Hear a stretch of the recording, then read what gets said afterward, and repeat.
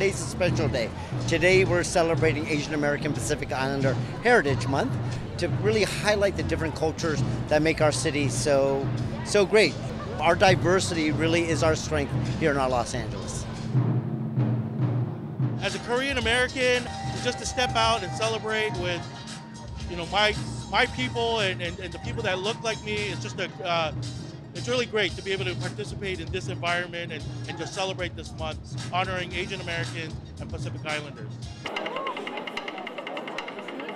We're so excited that there's so many people here to support, to learn about the contributions of the Asian American Pacific Islander community, to celebrate the artistry um, and the great work that the community provides. Right now, what we're seeing in the Asian American community is that we're starting to be seen as in leadership roles. Traditionally, we didn't see many people in that CEO role or that general manager role here in the city. Now we have Korean American, Asian American general managers. We have uh, the chief of police, Asian American.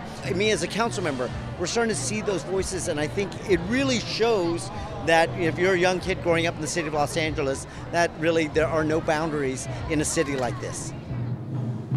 Asian American Pacific Islander Heritage Month, all our cultures should be celebrated year round, not just today.